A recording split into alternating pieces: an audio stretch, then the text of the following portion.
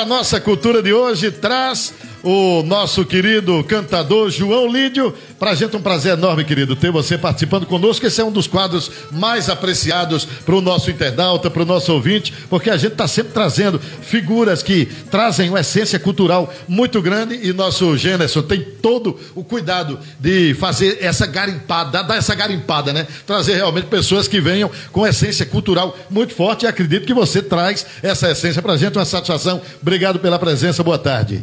Eu que agradeço, obrigado a todos os envolvidos, a Gênesis pelo convite direto para nós, uma oportunidade maior do que qualquer merecimento meu. Estou apenas simplesmente aqui tentando representar um pouco da profissão que exerço e aproveitando, logicamente, as oportunidades que aparecem. Rapaz, e para mim uma satisfação enorme ter, é, ver é, jovens é, trazendo, é, é, continuando né, com esse legado é, de trazerem essa essência cultural. Enquanto a gente está vendo aí uma parte da juventude querendo dançar até o chão, a gente vê pessoas que estão preocupadas é, com a manutenção da nossa cultura. Então, isso para a gente é um, uma satisfação enorme. Né, Quer dizer que parte das pessoas querem dançar até o chão. Ih, mas menino, um negócio de balançar a bunda, mas aqui quando a gente vê, quando a gente vê alguém realmente dando sequência a, a, a esse legado né, de, de, que vem já de décadas décadas. Então, para a gente, uma satisfação enorme, como matuto e como nordestino, acima de tudo.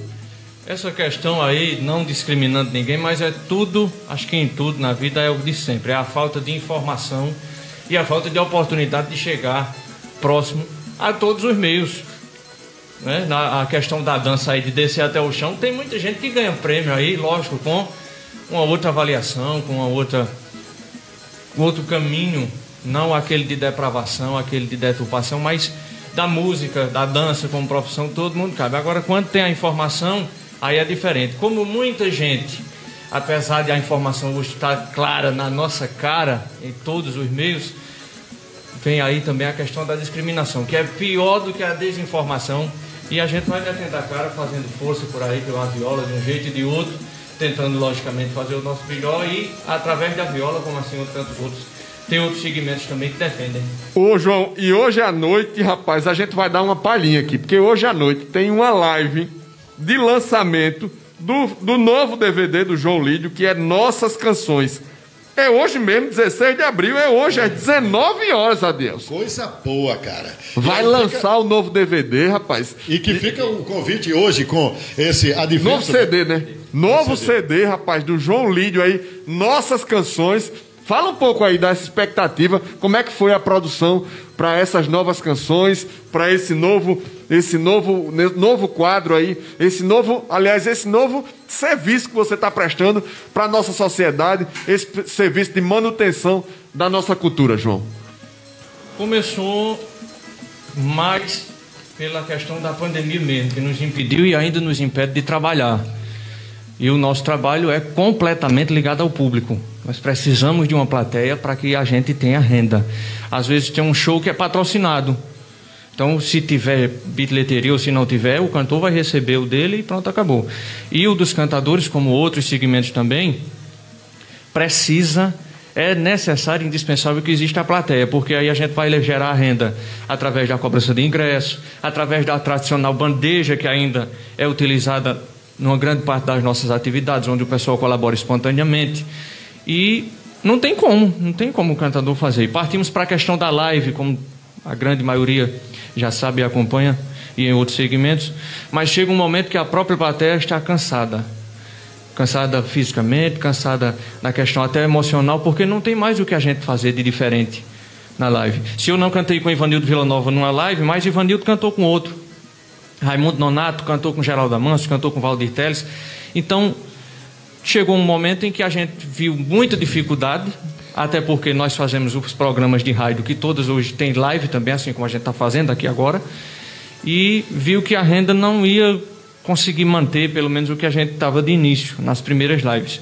E aí surgiu a ideia de fazer o nosso novo CD, para que nesse CD a gente tivesse alguma coisa de diferente para apresentar ao público, alguma outra sugestão, alguma outra opção, e assim o público pudesse participar junto conosco, onde nós deixamos aberta ao público a escolha de todas as faixas. Eu, não, eu só escolhi uma das canções que nós gravamos, todas as outras 12 foram pessoas que se dispuseram a colaborar conosco, patrocinando o CD e que aí escolheram cante essa, grave aquela tal. A gente foi fazendo o apanhado. Quando montamos o CD, já fomos com tudo certo já. E a partir de agora, aí sim, a venda do CD, que o CD mesmo não vende mais como vendia antigamente, mas a gente partiu também para as outras plataformas.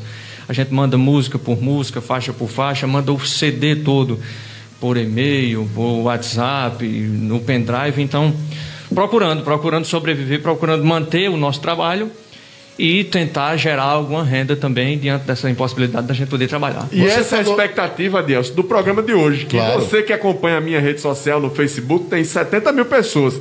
A Adelson tem 80 mil pessoas no Facebook. 85.500. Você que me acompanha no Instagram tem aí quase 50 mil pessoas. A Adelson tem quase 8 mil pessoas no Instagram. A gente está fazendo alguns algumas alertas aí, alguns insights. Então, a gente vai inclusive anunciar no nosso Instagram, no seu o seu, a sua transmissão hoje. E você que está no meu Facebook, olha, assiste lá a live do João Lídio.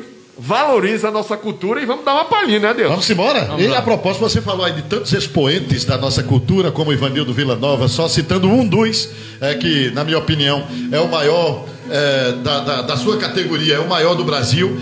Mas quem foi a tua grande referência? Ele. Ele. Ele. Então. Aqui em Caruaru, por volta, eu acho que eu tinha 12, 13 anos, foi o primeiro contato que eu tive com cantoria na minha vida. Uhum. Em casa, meu pai espontaneamente também pegou um radinho normal ali e começou a tentar alguma sintonia que nos interessasse e bateu em cima de um, do programa que eles tinham aqui na Violas em Liberdade, Violas em Liberdade aqui em ah, Caruaru. Liberdade. E estavam cantando Raimundo Caetano e o próprio Evanildo Vila Nova. Hum. E ali, no outro dia, Pai, não tem aquele negócio de novo, não.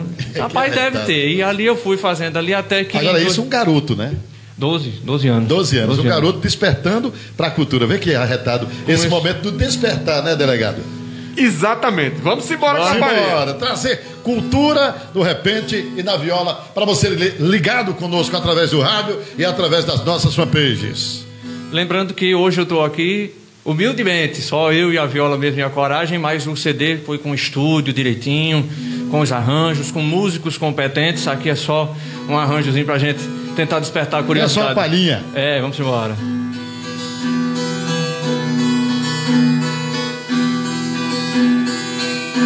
Quem vive distante de alguém que ama, sem manter contato, reclama e se altera. Ser que tem pressa não permite atraso. Um minuto é muito para quem espera. Os dias são longos, os meses mais lentos. Um ano parece uma eternidade. A hora não passa, o tempo recua, o martírio aumenta e a dor continua, consumindo aos poucos quem sente saudade. Saudade de alguém. Quem é que não sente? A distância empata, a ausência maltrata, saudade não mata, mas machuca a gente. Bacana demais.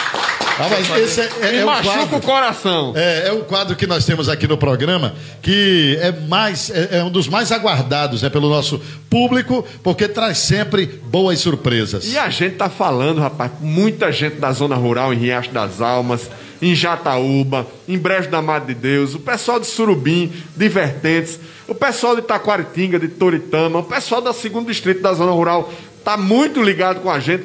Frei Miguelinho em peso, né, Adeus? Muita participação. Ou seja, João Lídio está falando para muita gente nesse momento. Aproveitar e fazer aqui justiça, essa é de autoria de Antônio Jocélio, lá do Ceará. É, Saudade de Alguém, entre as 13 que nós gravamos. Tem mais outras também tradicionais da cantoria, outras inéditas também, e aproveitar para puxar ainda mais a, a sardinha e a brasa logo para nós aqui. Nós estamos também na Farol com o nosso programa todo domingo, uma da tarde.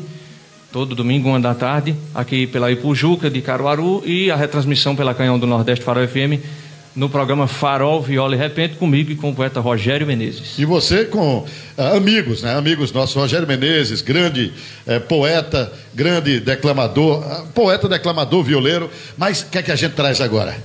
Canta mais um trechinho aqui, que a máscara eu vou cantando, ela vai caindo, eu corto logo antes que eu fique sem ela. Mais uma do, do nosso CD, Nosso Amor Merece. Essa é de Antônio Hélio. E aproveitar para dizer também que essa nossa live, nós estamos lançando o CD, toda essa questão de gastos para a gravação do CD foi concluída e a partir de agora a gente entra com a questão da colaboração dos amigos, que no cartazinho está tudo explicado direitinho como é que podem colaborar com a gente. Já chega de acusações, discórdias e discussões que só nos fazem sofrer. Por tudo que a gente sente, você não quer que eu me ausente, nem eu quero lhe perder. Nossas brigas rotineiras trazem crises passageiras, mas todo mundo tem crises. Se nos deixarmos de vez, nossos corações talvez nunca mais sejam felizes.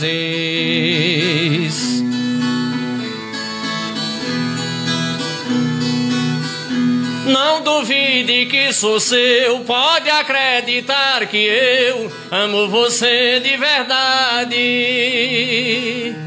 Meu coração lhe respeita e só você tem a receita da minha felicidade. Prego a paz e sou do bem, nunca briguei com ninguém, mas se for preciso eu brigo. Pra lhe ter ao meu redor, que pra mim nada é melhor do que ter você comigo.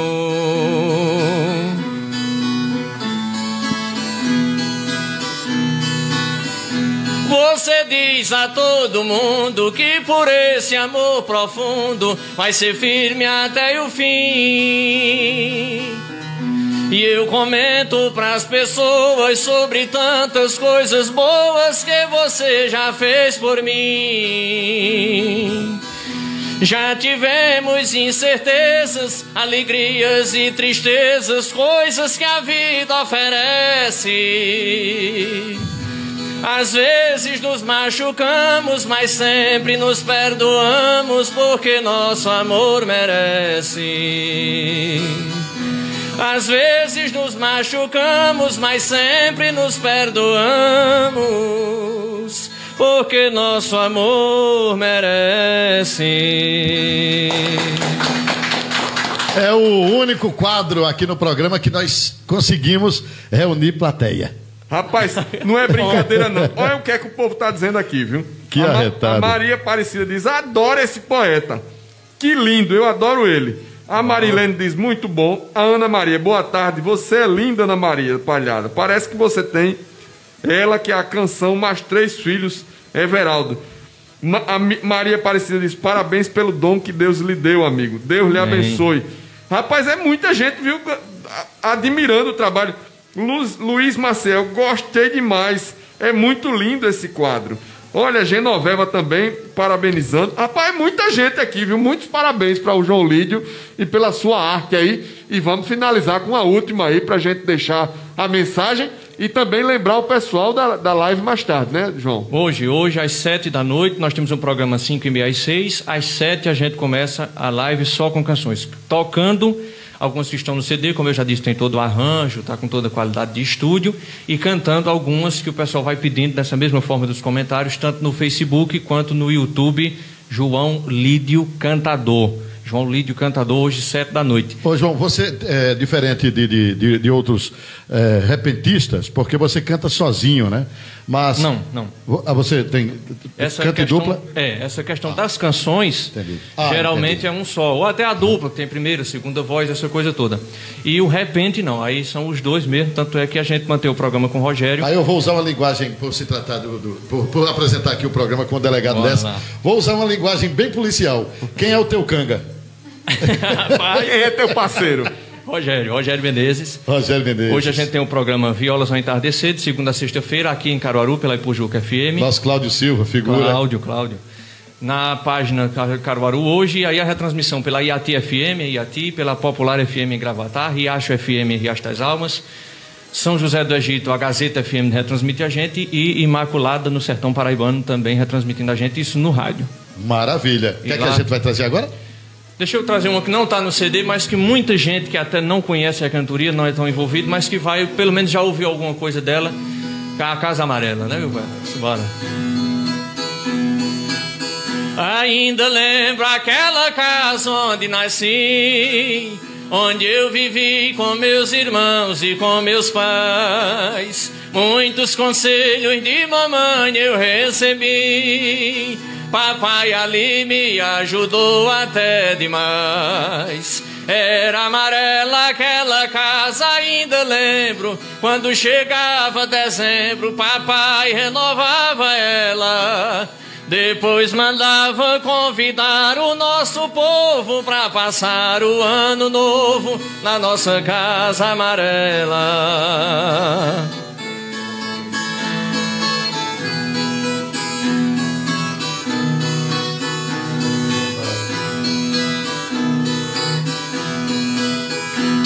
Vontade de deixar o meu torrão na intenção de conhecer o meu país. Papai choroso deu-me a sua permissão, dizendo: Deus faça você ser bem feliz. Tomei a benção aos meus pais e abracei meus irmãos. Depois chorei, debruçado na janela. Saí no rumo de uma estrada diferente, nunca mais vi minha gente na nossa casa amarela.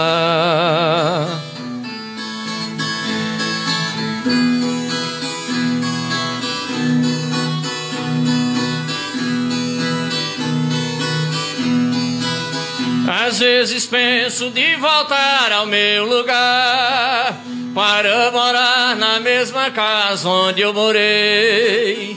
Essa saudade me convida para voltar para aquela terra em que nasci e me criei. Na mesma casa ir morar não posso mais. Meus irmãos e nem meus pais não são mais os donos dela.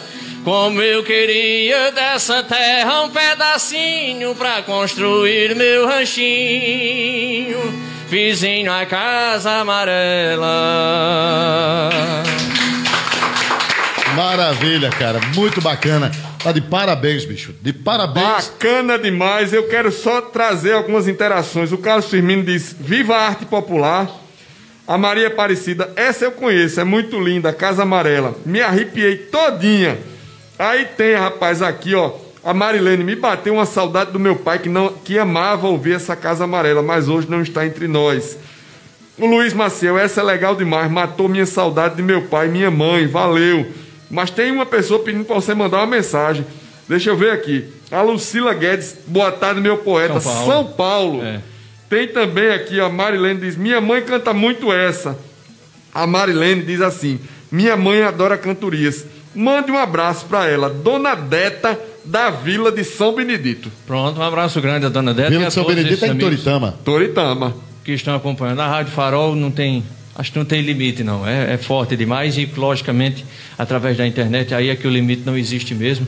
Agradecer mais uma vez pela oportunidade, meu poeta Gêneson pelo convite aqui, por nos colocar, nos trazer como proposta para o programa. Parabenizar ao delegado Lessa, deputado delegado Lessa, também pelo o apoio sempre aqui, pelo programa que está sempre ligado com o povo, próximo do povo, tanto pelas redes sociais quanto pela Canhão do Nordeste, a Farol FM, o nosso amigo Adelso também. Obrigado imenso pela oportunidade de estar com vocês aqui. E Mas vamos assistir mais tarde, como é? 19 horas. É, Qual, qual a plataforma? João Lídio pessoas- Cantador, rapaz. João Lídio Cantador. Então anote aí, João Lídio Cantador, sete da noite. Você vai acompanhar a live do João. Sucesso, meu irmão. Para nós, para nós, um abraço grande. Muito obrigado. Que Deus abençoe a caminhada de João Lídio e a sua luta pela cantoria. E